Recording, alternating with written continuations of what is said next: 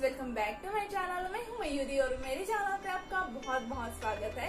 आज की वीडियो में मैं आपके साथ शेयर करने वाली हूँ। ये जो है वेट मशीन आप देख सकते हो। ये वेट मशीन है, मैं आपके साथ अच्छे से इसको, इसका जो है रिव्यू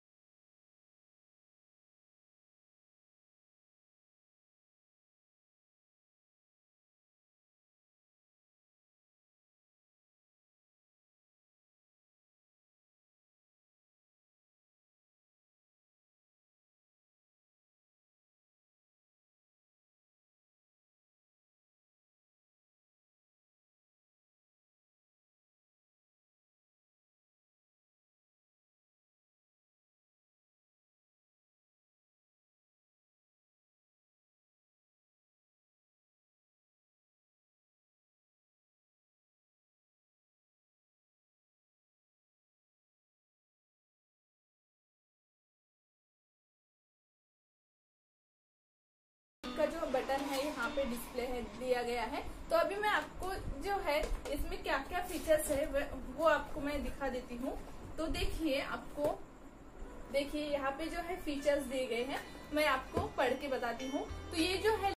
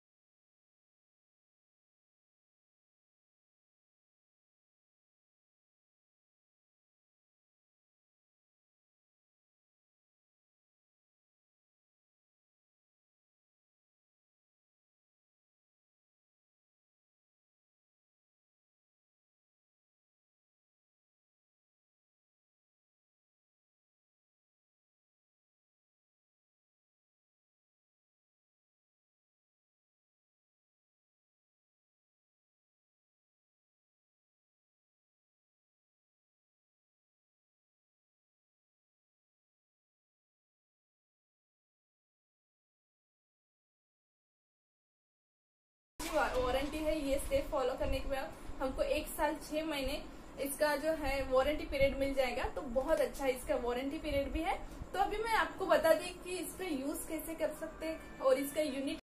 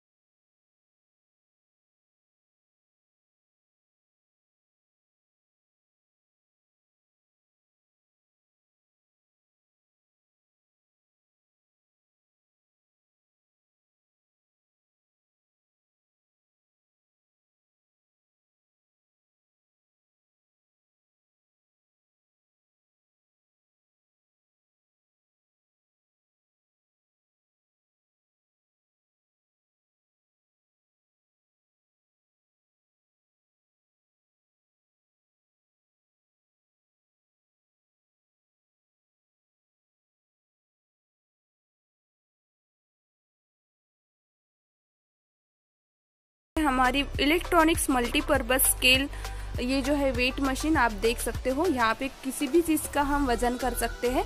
और यहाँ पे जो है क्या क्या इसमें फ़ंक्शन है यहाँ पे दिए हैं। आप अच्छे से देख सकते हो स्क्रीनशॉट भी ले सकते हो। मैंने आपको समझाई दी हूँ इसके पहले ठीक है? तो मैं अभी आपको अच्छे से बताऊँगी कि आ, मतलब इसका यूज़ कैसे करते हैं प्रॉपर इसकी जो फ़ंक्शन क्या है वही आपके साथ अच्छे से मैं शेयर करूँगी। तो ये जो है मैंने इस पर प्लाईवुड पे रखा है ताकि ये जो है, ये मेरा बेड है और उसके ऊपर मैंने प्लाईवुड रखा है क्योंकि इसकी जो हम कोई भी वज़न करेंगे, कोई भी चीज़ का वज़न करेंगे, वो एक्यूरेट आना चाहिए क्योंकि मैंने ट्राई करके देखा था तो बेड पे कम ज़्यादा होता रहता है वज़न। तो आप किसी भी टेबल पे या नीचे रख के आप किसी भी चीज़ का वज़न करेंगे तो अच्छे से प्रॉपर वज़न आ जाएगा। ठीक है? तो हम अभी लगाएँगे। ये है इसका जो चार्जर हमें मिला है। चार्जर मैं लगा देती हूँ। यहाँ पे जो है आप देख सकते हो यहाँ पे चार्जर लगाने का दिया हुआ है। देखिए मैं यहाँ पे चार्जिंग लगा दी दी हूँ। देखिए ठीक है? और ये जो है डिस्प्ले ऑन हो चुका है। यहाँ पे चार्जिंग के साथ साथ मैंने बताई थी आपको कि यहाँ पे जो है यहाँ पे आप देख सकते हो यहाँ पे जो है सेल भी दिए हुए हुए है। आ, सेल मतलब जो है बैटरी जो है बैटरी भी है इसके साथ मैं आपको खोल के भी बता दूँगी। देखिए, ये बैटरी दी हुई है। पेपर इसलिए डाला है कि ये मतलब शुरू ना हो जाए। इसलिए यहाँ पे पेपर डाला है। देखिए, बैटरी भी दी हुई है। आप सेल पे भी इसका यूज़ कर सकते हो और करंट का भी। तो मैं अभी करंट का इसका यूज़ कर रही हूँ। मतलब चार्जिंग लगा चुकी हूँ। तो आप देख सकते हो, मैं अभी स्विच ऑन कर देती हूँ। तो ऑन करने के बाद डिस्प्ले इसका स्टार्ट हो गया है। आप देख सकते हो। तो यहाँ पे जो है, ऑन ऑफ़ बटन दिया गया है। और यहाँ पे तारे इसका जो मैं आपको फ़ंक्शन बता दूँगी वो दिया है। यहाँ पे मोड का मतलब जो यूनिट होते हैं वो है इसमें आता है और ये पीस का है। मतलब इसका जो फुल फॉर्म होता है वो होता है पीस काउंटिंग स्केल इसको इसको पीसीएस बोलते हैं। ये सब फ़ंक्शन यहाँ पे दिए गए हैं। ठीक है? आप देख सकते हो इस तरह से ये मशीन है। आ, बड़ी ताकि बड़ी है देख सकते हो मैं। मेरा हाथ आप देख सकते हो। तो इस तरह से ये मशीन है। तो अब देखेंगे कि इसका यूज़ कैसे करेंगे हम। ठीक है?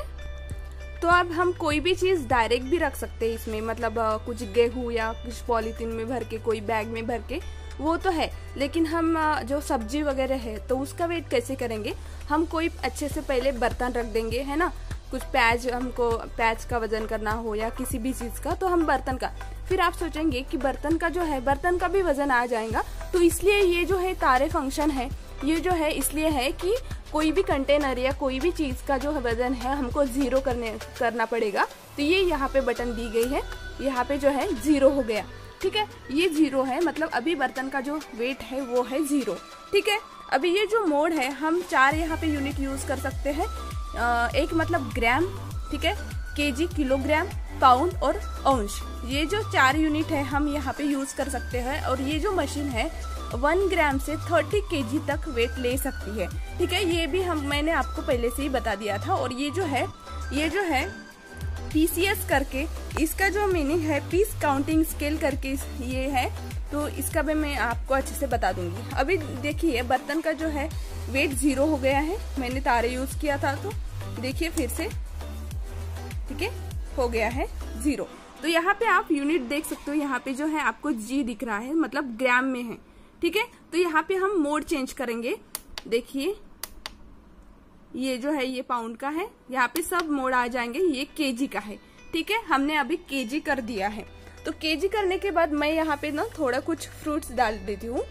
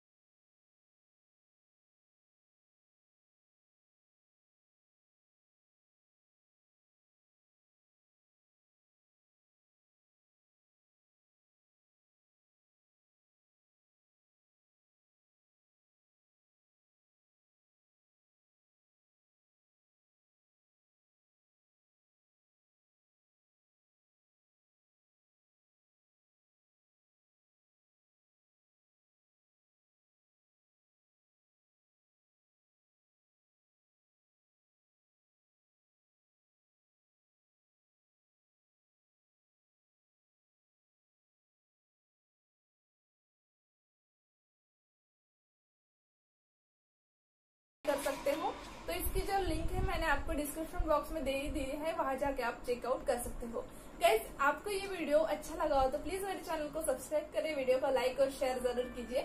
और साथ ही साथ मैंने अभी आपको एक्सप्लेन किया है कि कैसे इसका यूज़ कर सकते हैं, कैसे यूनिट इसको कैसे यूनिट में लाना है, कैसे यूज़ करना है सभी बटन तो आपको कोई डाउट होगा तो आप मुझे जो है कमेंट बॉक्स में बोलिए, वो भी मैं आपका जो डाउट है इसके बारे में मशीन के बारे में मैं क्लियर कर दूँगी। चलो तो मिलते हैं नेक्स्ट वीडियो में थैंक